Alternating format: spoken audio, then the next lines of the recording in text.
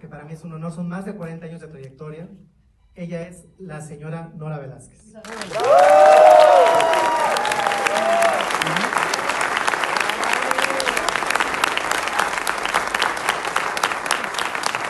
Gracias por su humildad, por su generosidad, por su talento y por su disposición maestra. Gracias. Pues es que sí, soy un aprendiz porque yo me aferré a la risa, al humor, para enfrentar la vida porque cuando era niña me, internaron 11 años en una escuela de monjas y era maravillosa la escuela, nos daban todo, fue la salvación de mi familia, pero a mí me cagaba la madre.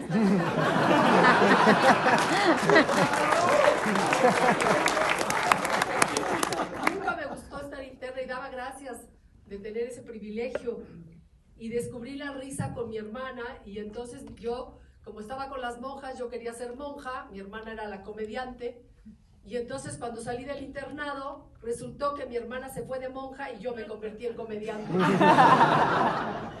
Y este, bueno, tenía que estudiar la carrera de actriz primero, pero en el grupo a nadie le gustaba la comedia, todos querían drama. Yo decía, pero ¿cómo si la vida es un drama?